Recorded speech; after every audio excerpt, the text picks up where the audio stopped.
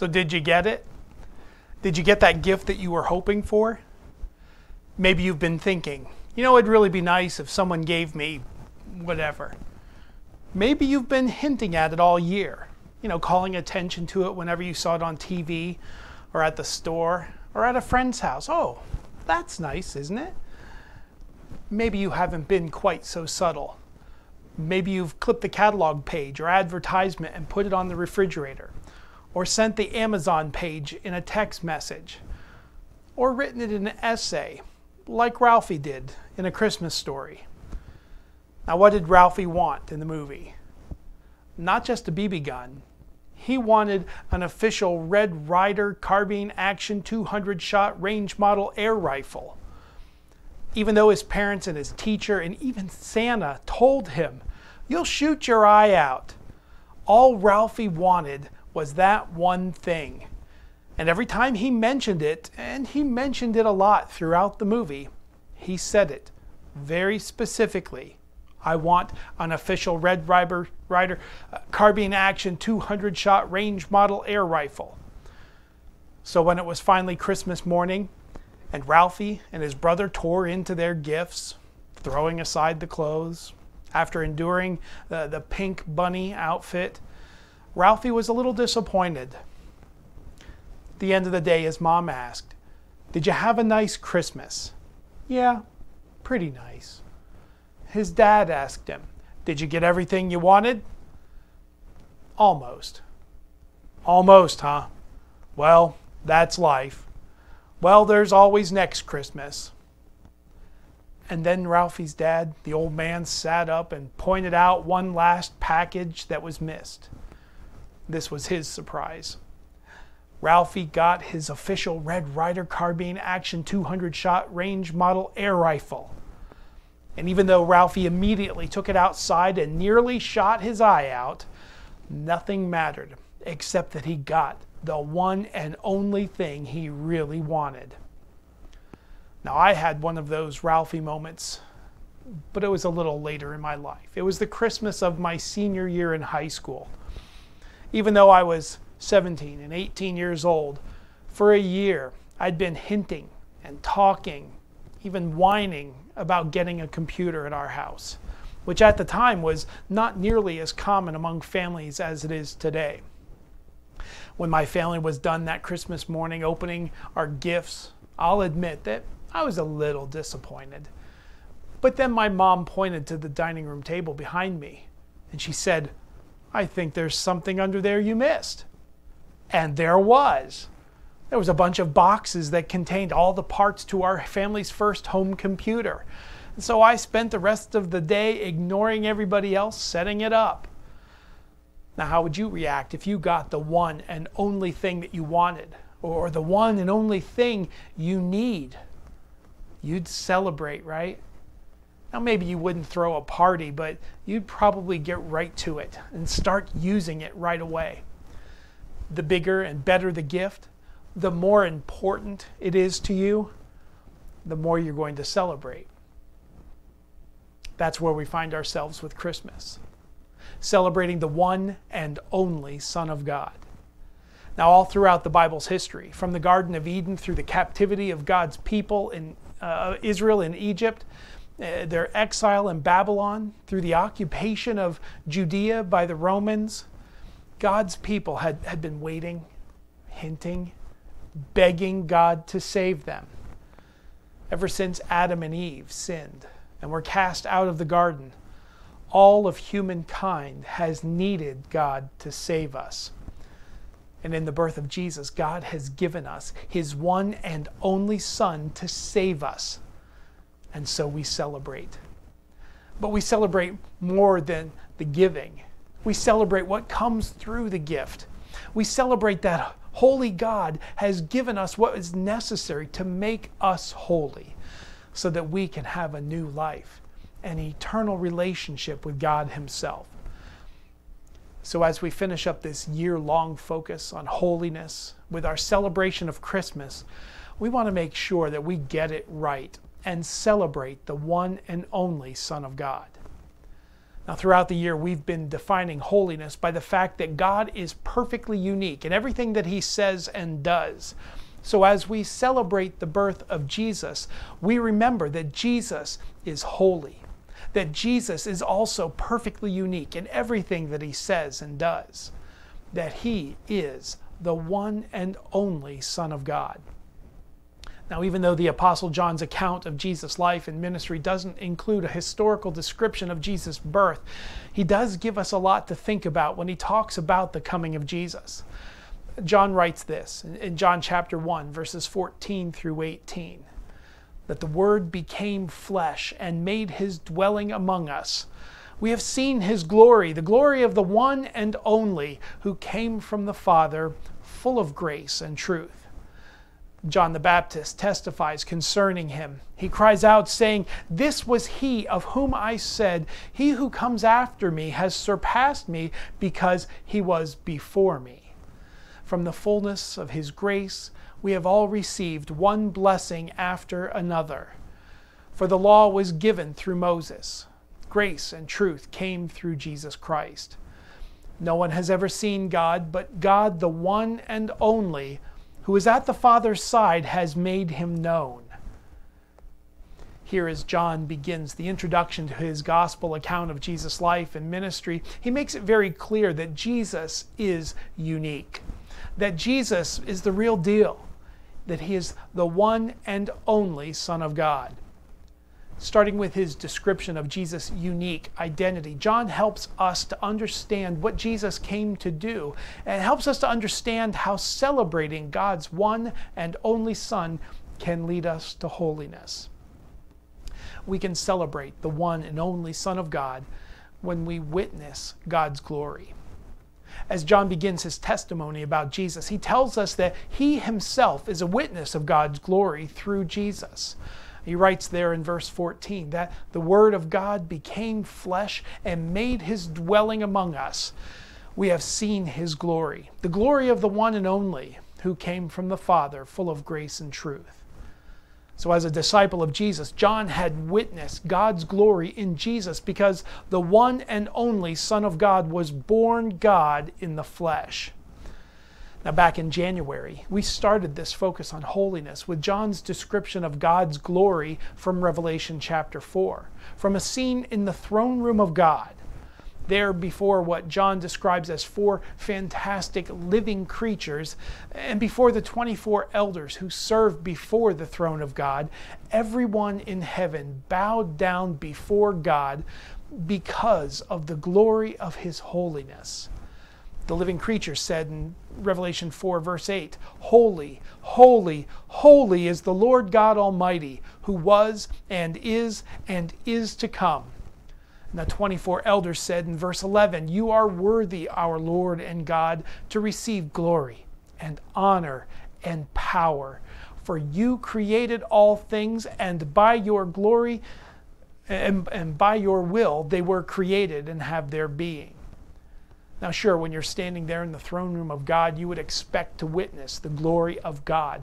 But here in the beginning of his account of Jesus' life and ministry, John says that he was a witness of God's glory in Jesus. All throughout the rest of his account, John describes Jesus' preaching and teaching and miracles as they revealed God's glory.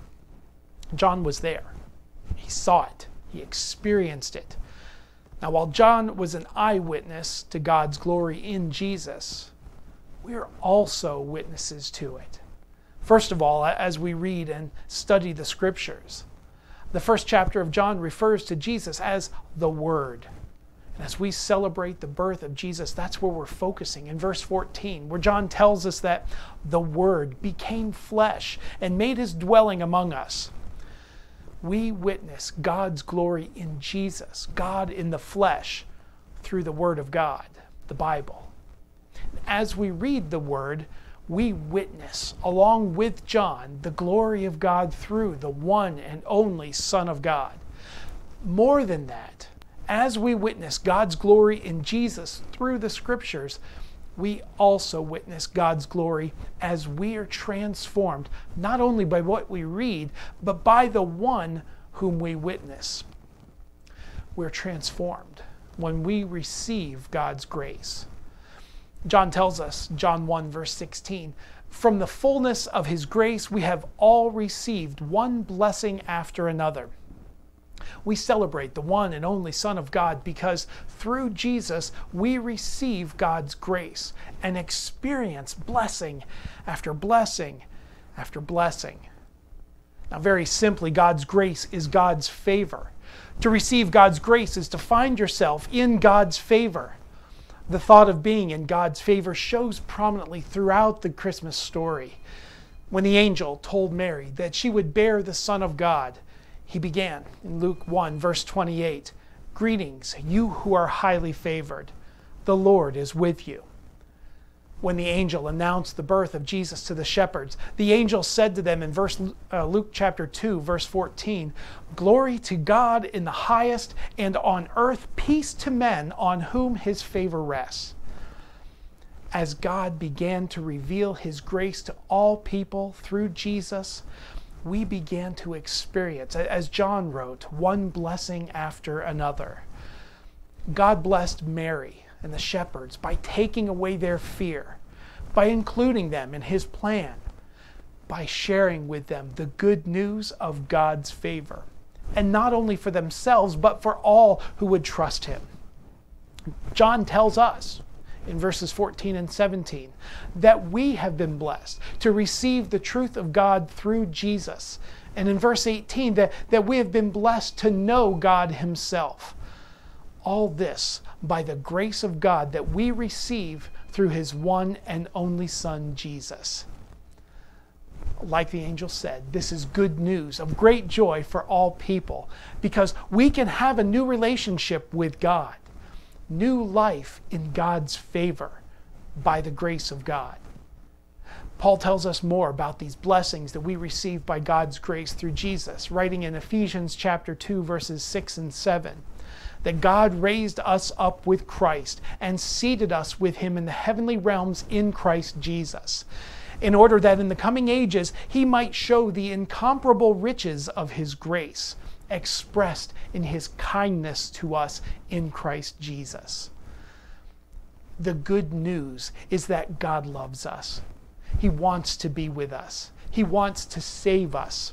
So he sent Jesus to reveal His grace, to offer His grace. So as we witness God's glory, eh, we receive God's grace and we celebrate the one and only Son of God.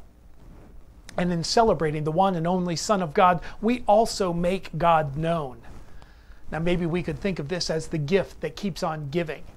I don't know how many of those Christmas themed TV shows or movies you've seen this season but most of them try to communicate what they refer to as the real meaning of Christmas. And they're usually referring to some kind of watered down idea of peace and love and joy, just shy of pointing to God who actually blesses us with those very real things through Jesus. Now, they often try to tell us that, that we need to hold on to this real meaning of Christmas throughout the year. And I think they're right, even if they don't know why we need to keep the real meaning of Christmas alive all the time, which means we need to make God known all the time. Jesus came to make God known. John writes in John 1, verse 18, that no one has ever seen God, but God, the one and only, who is at the Father's side, has made him known. Jesus told his disciples this in John chapter 14, verse 7. If you really knew me, you would know my Father as well. From now on, you do know him and have seen him because he was a witness of Jesus. John wrote all this down to make God known. And he tells us this towards the end of his gospel, John 20, verse 31, that these things are written that you may believe that Jesus is the Christ, the Son of God, and that by believing you may have life in his name.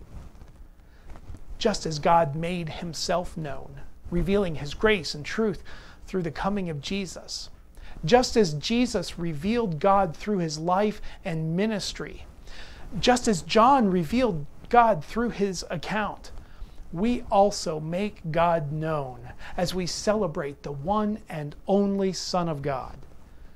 Now, hopefully, we've been doing that through this Christmas season. In our worship services, in our own personal celebrations with friends and family. Hopefully, we've been doing that throughout the year, living our lives in celebration of who Jesus is and what he's done to make us holy through his life, death, and resurrection. Hopefully, we're doing that by sharing the good news with others which is what I want to do right now. Now, those of us who have witnessed God's glory, who, who have received God's grace, know the reason why we celebrate the coming of Jesus at Christmas. But there are still many who don't yet know Jesus, the one and only Son of God. They might be saying Merry Christmas, and they might have heard the story of Jesus' birth over the last few weeks, but they don't fully understand. This is the good news of great joy. That's for all people. A Savior has been born who is Christ the Lord. And if you want to receive the one and only gift you'll ever really need, I invite you to put your faith in Jesus. If you believe that Jesus is the one and only Son of God who died on the cross to forgive our sins and who rose again to give us new life, if you'll repent and turn back to God, if you'll make it known that Jesus is the Lord of your life. And if you'll join with Jesus by being baptized for the forgiveness of your sins, you'll receive that gift by God's grace. You'll be forgiven of your sins, and God, the Holy Spirit, will come and live within you to help you live this new life. Now, if you're ready to make that decision, or if you've got any questions about what I've been saying, I invite you to contact me at Athens Church of Christ. And we'll get together as soon as possible and work through all of that together. But until then, please let me pray for you. Father God, I praise you for your holiness, for your plan to make us holy through your one and only Son, Jesus. As we celebrate the birth of Jesus, I, I pray that we would make you known, that we would be witnesses of your glory that we would help others receive your grace and forgiveness through Jesus. Right now, I pray for those who have not yet put their faith in Jesus, that you would lead them to yourself by your Holy Spirit and through your word, and with the help of your people, the church. And I pray this in Jesus' name. Amen.